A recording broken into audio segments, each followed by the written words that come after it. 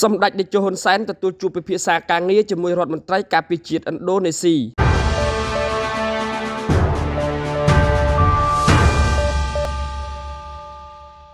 នៅវិមានសន្តិភាពនារសៀលថ្ងៃទី22ខែមិថុនាឆ្នាំ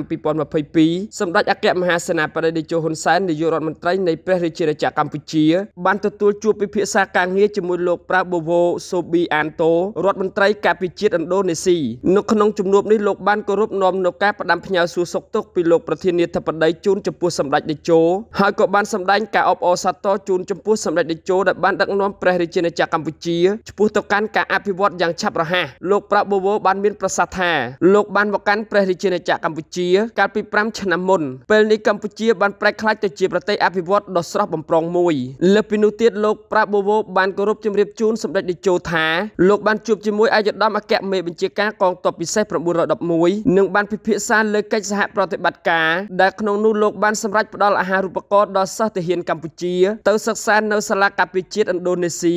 លើវិស័យពេទ្យវិស័យវិស្វកម្មនិងវិស័យគណិតសាស្ត្រនិងវិទ្យាសាស្ត្រលោកប្រាបូវក៏បានជួបពិភាក្សាជាមួយលោកប្រធានគណៈកម្មាធិការជាតិអូឡ িম্প ិកកម្ពុជាផងដែរហើយក៏បានចុះអនុសារណៈយោគយល់គ្នាក្នុងការបង្ហាត់កីឡាបច្ចេកសិលាដល់កម្ពុជានិងកម្ពុជាបង្ហាត់កីឡាល្បុក្កតោដល់ឥណ្ឌូនេស៊ីក្នុងន័យនេះលោកប្រាបូវសូមគោរពសូមការគ្រប់គ្រងពីសម្ដេចតេជោនាយករដ្ឋមន្ត្រីជាការឆ្លើយតបសម្ដេចតេជោហ៊ុនសែនបានថ្លែងអំណរគុណចំពោះលោកប្រាបូវដែលបាននាំមកនូវការផ្ដាំផ្ញើសួរសុខទុក្ខពីអាយដាមប្រធានាធិបតីជូនចំពោះសម្ដេចសម្ដេចតេជោនាយករដ្ឋមន្ត្រីក៏បានវិតម្លៃខ្ពស់ចំពោះកិច្ចសហប្រតិបត្តិការរវាងកងទ័ពឥណ្ឌូនេស៊ីនិងកម្ពុជាហើយសម្ដេចថ្លែងអំណរគុណចំពោះលោកប្រាបូវូដែលបានផ្ដល់អាហារូបករណ៍ដល់សិស្សទាហានកម្ពុជាទៅសិក្សានៅឥណ្ឌូនេស៊ីនិងបង្ហាត់ក្បាច់បច្ចេកសិលាដល់កីឡាករកម្ពុជាសម្ដេចតេជោហ៊ុនសែនក៏បានគាំទ្រចំពោះការបង្ហាត់ក្បាច់ល្បុក្កតោកម្ពុជាជូនដល់កីឡាករឥណ្ឌូនេស៊ីផងដែរសម្ដេចតេជោបានមានប្រសាសន៍ទៀតថានេះជាវប្បធម៌នៃកិច្ចសហប្រតិបត្តិការរវាងកងទ័ពទាំងពីរកម្ពុជាឥណ្ឌូនេស៊ី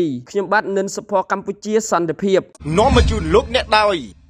ក្រុមហ៊ុន RS Rival Marketing Cambodia សម្ភារ